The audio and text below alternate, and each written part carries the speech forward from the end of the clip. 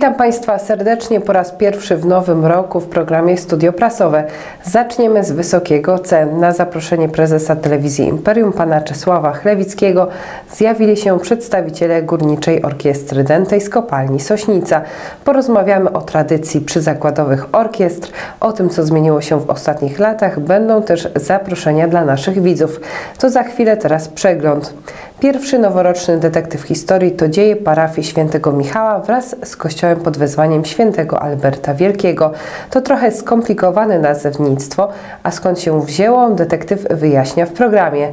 Kościół nazywany jest także akademickim, służy bowiem dodatkowo studentom Politechniki Śląskiej z racji bliskości obu obiektów. Cały kompleks zabudowań obecnego Wydziału Elektrycznego, budynku parafialnego oraz dawnej kaplicy Bursy Uczniowskiej to przepiękne dzieło architektów i budowniczych gliwickich lat 20. ubiegłego wieku. Modernizm na wyciągnięcie ręki. Trzeba tylko przyjść i oglądać albo skorzystać z programu Detektyw Historii Telewizji Imperium.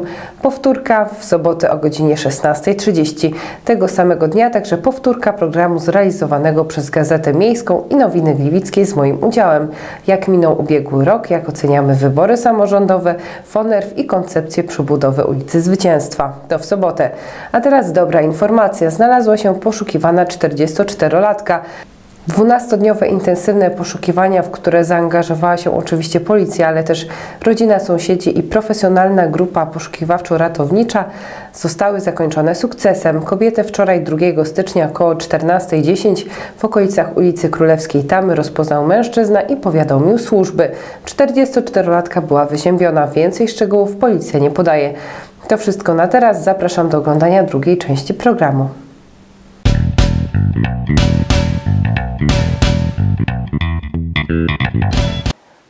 Dzień dobry, a raczej szczęść Boże. Dzisiaj do studia prasowego zajrzeli pan Ryszard Buczek, prezes Stowarzyszenia Orkiestry Dętej KWK Sośnica oraz Jacek Błaszczyk, sekretarz tegoż stowarzyszenia.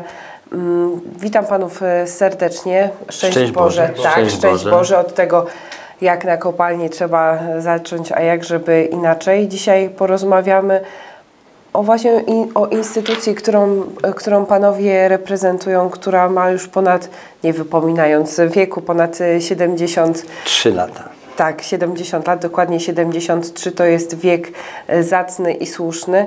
No i pytanie może takie, co słychać w takim razie u, u Was, u tej, u tej orkiestry? Wiem, że się udzielacie na różnych uroczystościach, czy to barburki, czy nie barburki. Widać Was, więc można powiedzieć, że tradycja jest podtrzymana. Tak jest, jest. Jak to czasem niektórzy księża podkreślają, że jest głośno i radośnie. Głośno i radośnie. A panowie w ogóle skąd się jakby wzięła potrzeba stworzenia orkiestr górniczych? Po co to było potrzebne? Do czego? To jest w ramach tradycji, która ma ponad 250 lat. Do nas przyszła tak w sumie z Bawarii, z Austrii. I to jest, y, no, człowiek, muzyka jest zawsze, łagodzi obyczaje, jak ładnie Waldorf mówił. Y, muzyka jest ponad y, i muzyka towarzyszy przede wszystkim człowiekowi do rodzenia do grobowej deski. I no, człowiek pod ciężkiej pracy to musiał odreagować, a jedną z najciekawszych, najbardziej miłych form to jest muzykowanie, śpiew, malowanie, gołąbki jak na Śląsku. Tam każdy, każdy ma jakieś zainteresowania i dobrze, żeby je miał, żeby się realizował. Aha. To było również związane z pewną instytulizacją e, pewnych tradycji, które przyjmowały formę zorganizowaną, jak różnego rodzaju akademie, spotkania. I wtedy ten element muzyki, orkiestry był tym czynnikiem, który był zawsze obecny. Można powiedzieć, że orkiestra górnicza zawsze braci górniczej towarzyszyła. Tak jak prezes tutaj powiedział, nie tylko od narodzenia, ale również przy okazji pogrzebów te pogrzeby czasami miały wymiar, były następstwem różnych tragedii, więc było to jakby szczególne uhonorowanie tych ludzi, którzy odeszli właśnie w formie, że żegano również przy pomocy właśnie orkiestry, przy pomocy muzyki. I ta tradycja, ona istnieje już od wielu lat. Zawsze było tak, że górnicy oprócz powiedzmy tej ciężkiej pracy mieli również szereg innych zainteresowań pozazawodowych i między innymi taką formą było wspólne muzykowanie. Czy to w rodzinie, czy też powiedzmy w towarzystwie swoich kolegów e, z kopalni, z grubej, czy, czy z dzielnicy, z ulicy. No i tak to przetrwało do, dzisiejszej, do dzisiejszych czasów. I myślę, trzeba mieć nadzieję, że to będzie dalej trwało. Ja bym jeszcze chciał dodać, jeśli można, że to, to nie tylko w branży górniczej e, było muzykowanie. E, były czasy, gdzie były tak zwane orkiestry cechowe i każdy zacny cech miał swoją orkiestrę. Nawet e, był czas, nawet jeszcze przed wojną krótko, że każda gmina, każda parafia to był wielki taki no, splendor, żeby mieć E, swoją, czy kapelę niektórzy nazywali, czy orkiestrę dentą, ale no to też ładnie powiedział kiedyś e, nasz były prezes Polskiego Związku Chórów i Orkiestr, e, pułkownik Balicki, że było inne nastawienie do orkiestr, że przed wojną do kościoła szło się boso, ale orkiestrę każda gmina miała. Mhm. A skąd panowie wzięli się właśnie w tej orkiestrze KWK Sośnica? Rozumiem, że panowie pracowali e, na kopalni. No, no, i gdzie, w którym momencie się pojawiła ta orkiestra, muzyka i, i, ta tradycja? No, u mnie muzyka się trafiła trochę wcześniej, bo już w trzeciej klasie szkoły podstawowej. Zaczynałem na akordeonie, no a potem zacząłem grać w średniej szkole na trąbce, a potem jak już zacząłem pracę, to już od razu zostałem przyjęty do orkiestry, co prawda była orkiestra wtedy na tyle liczna, że była orkiestra młodzieżowa. To był 1975 rok. To już może tak historycznie to brzmi, ale, ale tak, tak to było i od tego czasu gram do dzisiaj, dzięki Bogu nie? i świętej Cecylii, naszej patronce. Tak, patronka chórów. Tak, bo pan prezes jest prezesem grającym, a pan sekretarz co robi w stowarzyszeniu? No ja już tutaj żartowałem, że gram, nie jestem grającym muzycznie, ale grającym na nerwach. No, pewne sprawy organizacyjne należą do mnie.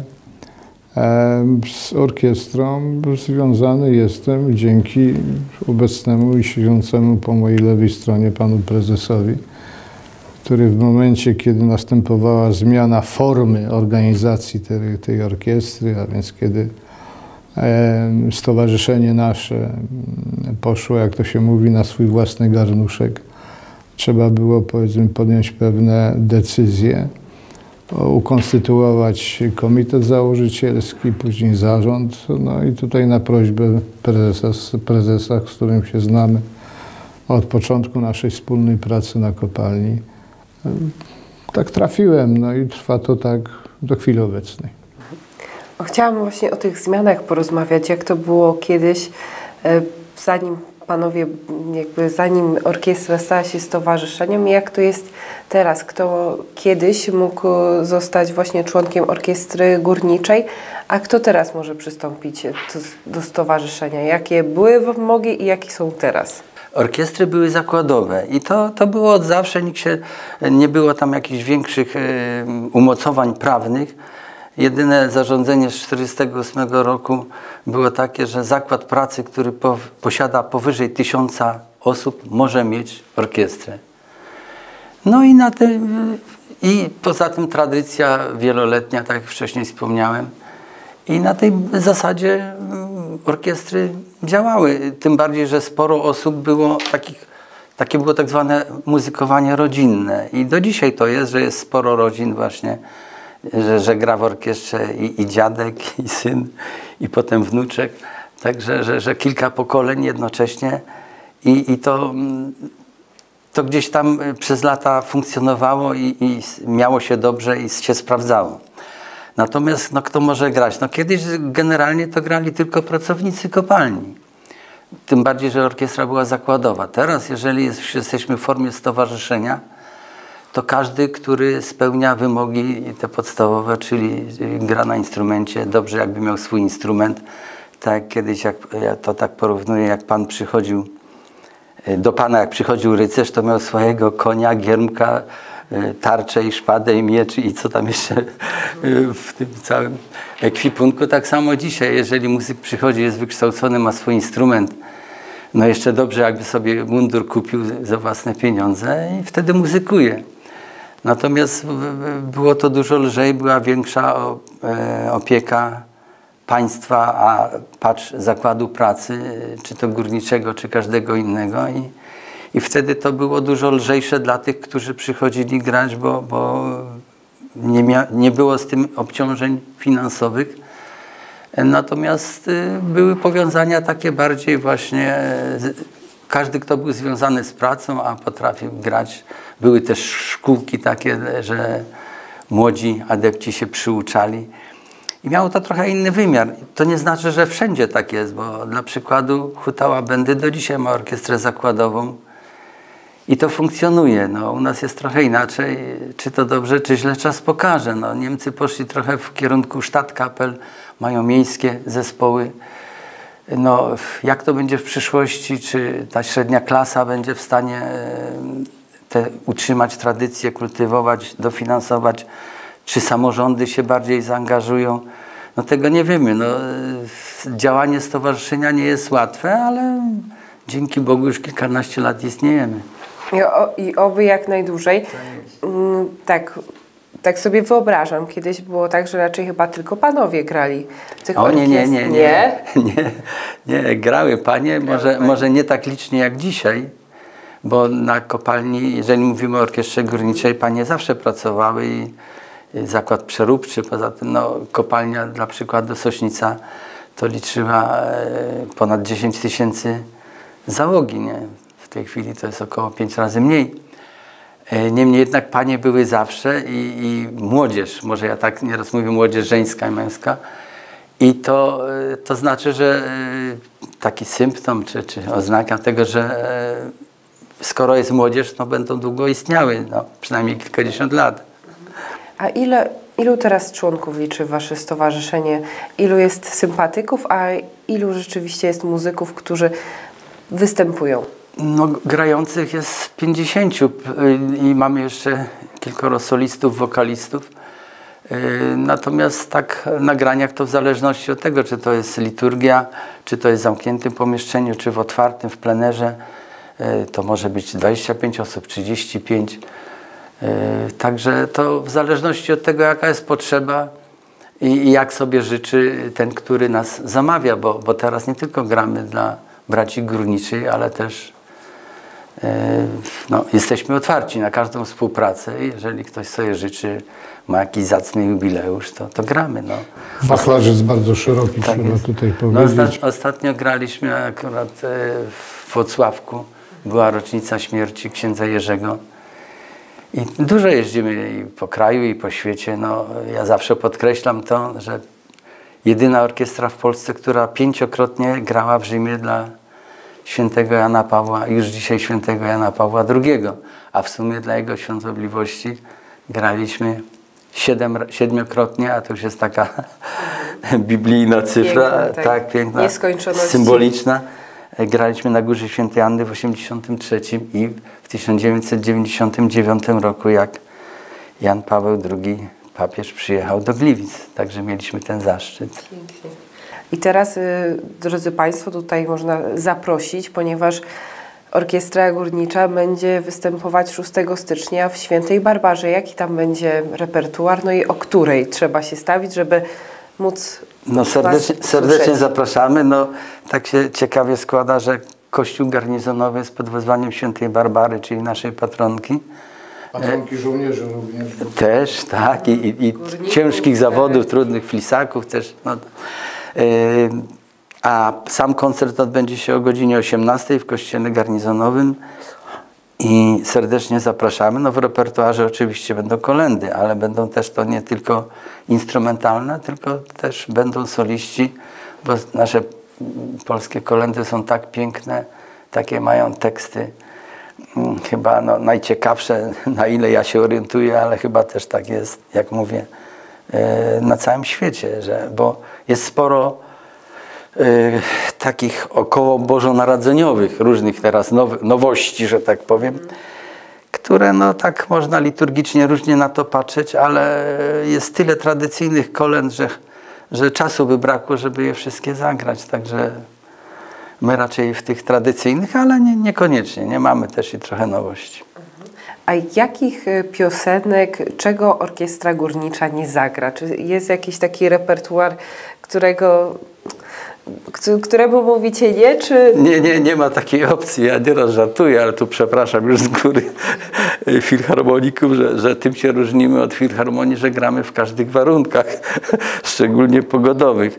Także orkiestra wojskowa. jak wojskowa, która dostaje rozkaz i gra, tak samo u nas. No, to jest też radość z tego, co robimy, bo inaczej się traktuje za, muzyk, zawód, jeżeli on pracuje. No, oczywiście on musi z tego się utrzymać i, i też y, no, to musi być wysoki poziom i tak dalej, i tak dalej. To jest problem bardzo złożony, no, ale skoro generalnie em, realizujemy się oczywiście, ale to ma być dla słuchacza. I, i, I to mm, nieraz tak żartujemy, że nie da się oszukać, bo te nuty pod pulpitem leżą. Nie? W wielu zawodach można tam poczarować, popływać, tu się nie da, bo to słychać. Nie? mnie zawsze zastanawia, jak, jak Państwo właśnie macie jakieś takie przejścia, w sensie, że nie siedzicie w jednym miejscu, nie gracie, tylko właśnie jest barburka, jest ta taka procesja piękna, czy tak jak na Kiszowcu jest to takie budzenie. Jak sobie właśnie radzicie z tym? Gracie, idziecie, jak, jak to połączyć? Lata praktyki. Ale lata praktyki to jest tak zwane granie w marszu. No, oczywiście wtedy jest inny repertuar, gramy marsze. No, w marszu też można inne ze- rzeczy zagrać, ale to już nie o to chodzi. To jest masa utworów stworzonych właśnie do marszu. I, i owszem, tu jeszcze wracając do tego, czy boimy się czegoś zagrać. No, nie boimy się, tylko że każdy ma swoją niszę i to, co było, co jest pisane na przykład do wielkich sal, yy, na potężne orkiestry symfoniczne, był czas taki, że to yy, były tran- transkrypcje, było to przerabiane na orkiestry i grane i wszystko można zagrać, ale nie ma takiej potrzeby. Każdy ma, jest, ten świat jest tak duży i tak yy, ciekawy, że niech każdy robi swoje, jak yy, Jak jak, jak nasz starszy kolega Młynarski śpiewał Róbmy swoje i niech każdy zagra swoje i każdy będzie z tego zadowolony, a, a przede wszystkim ten beneficjent, nie? E, Nawiązując do tego, jeżeli chodzi o skalę repertuaru, powiedzmy, to trzeba powiedzieć, że no, w tej chwili jest powiedzmy okres świąteczny, rzeczywiście kolendy, ale Karnawałowy. przecież karnawałowy. E, Te koncerty karnawałowe, które realizujemy, on, to jest spektrum różnej muzyki, od, od powiedzmy operetkowych, y, poprzez jazzu, jazzu, jazzujące powiedzmy jakieś utwory muzykalowe, tradycyjne powiedzmy marsze, powiedzmy Straussa czy, czy, tego, także rzeczywiście można się zdziwić, że, że, że no, ta orkiestra powiedzmy, która nie ma statusu zawodowej, potrafi zrealizować y, taki program. Mm, Trzeba tutaj jeszcze powiedzieć, że w tym zakresie re- współpracujemy z różnymi artystami, którzy niekoniecznie są członkami naszej orkiestry, ale ta, Szczególnie tu chodzi o wokalistów, wokalistów którzy śpiewają w operach.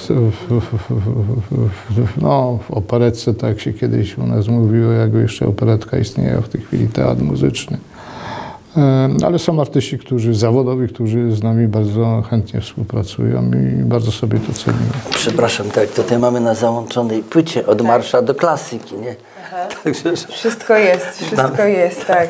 jest wszystko i tak, i tak powinno być, no bo y, inaczej jest w plenerze, inaczej jest na sali koncertowej i w zależności od tego, jaka to jest okoliczność, czy to jest stricte koncert. No ostatnio mieliśmy taki ciekawy koncert e, w Muszli, znaczy ostatnio to było w lipcu, ale tak mi się akurat skojarzył, e, w Muszli koncertowej w parafii świętego Jacka W Sośnicy. w Sośnicy, no to tam też i skrzypce nawet, e, były, były dwa utwory na skrzypcach elektrycznych zagrane przez koleżankę, która też gra na klarnecie i śpiewa i studiuje teraz w Akademii. Także mamy sporo młodzieży już w tej chwili po studiach, e, może nie wszyscy po muzycznych, ale, ale to już nie jest tak jak dawniej, że sporo osób było tylko z takiej szkółki, e, która przyuczonych, Albo po- wręcz samouków nawet. Tak. nie? takich naturszczyków, jak to się mówi w żargonie. Ale teraz gro rzeczy, gro e, ludzi, gro muzyków jest po szkołach muzycznych i to mamy napra- naprawdę na Śląsku bardzo dobrą sytuację, bo mamy w Gliwice, Zabrze, Bytom, Katowice, wszędzie są średnie szkoły muzyczne, licea, akademia, także nawet i, i z Akademii e, Jana Długosza, już teraz z Uniwersytetu, bo jest zmiana, z Częstochowy też, też grają u nas osoby, no, notabene pan dyrygent, profesor Lesław Podolski tam wykłada. Także, że no, znamy się, że tak powiem, w rejonie, w obrębie, nie tylko tutaj regionu, ale prawie że całego kraju, bo sporo osób też u nas się przywinęło i, i teraz występują na wielkich estradach. No, mógłbym to sporo podać przykładów, ale nie wiem, czy to nie będzie jak reklama. Drodzy panowie, bo jest y, początek nowego roku, nadzieje są, y, młodzież y, chce, to jest najważniejsze. No to czego wam życzyć na ten nowy rok 2019? No. Czego się muzykom życzy? Wysokiego C. tak. Wysokiego C, tak, wysokiego C, żeby, tak, bo pan prezes gra, a pan sekretarz co, żeby się słupki zgadzały? E, no więc tu jest ten element taki artystyczny. I myślę, że tutaj nie będę oryginalny specjalnie, ale byśmy na pewno sobie życzyli, żeby utrzymać ten poziom, jak nie podnieść go, ten poziom e, muzyczny, powiedzmy, rozwoju i orkiestry każdego z muzyków, który jest członkiem naszej orkiestry. A pod względem e, organizacyjnym, no, finansowo-ekonomicznym, e, no to życzenie jest jedno, żeby zawsze na koniec roku, jak będziemy robić ten bilans, to zawsze pojawiała się tam liczba, jakakolwiek by Na ona nie była, ale na plusie. I tego sobie życzmy nie tylko naszej orkiestrze, orkiestrze, ale również wszystkim innym orkiestrom górniczym, nie tylko górniczych, które znajdują się w podobnej sytuacji jak my, gdzie muszą po prostu no, y, działać w sposób bardzo samodzielny i liczyć na przychylność sponsorów, odbiorców tej muzyki, którzy są gotowi przyjść, powiedzmy, i na te orkiestry popatrzeć. To jest nasze takie bieżące y, życzenia na ten bieżący, e, no już rozpoczęty rok 2019. Panowie, bardzo dziękuję dzisiaj za spotkanie, za wizytę i pytanie takie, bo wiem, jak się trzeba już przywitać, szczęść Boże, a jak się trzeba pożegnać na kopalni. Też szczęść Boże, albo przyjdą zaś różnie. To szczęść Boże i do zobaczenia w niedzielę, tak? O, Tak, serdecznie. 6 stycznia, godzina 18, Kościół Świętej Barbary. Tak, a 27 o 11.30 u nas- u Franciszkanów w kościele pod wezwaniem Najświętszego Serca Pana Jezusa w Gliwicach. Także kto nie może w niedzielę, może 27. Bardzo Panom dziękuję i do zobaczenia.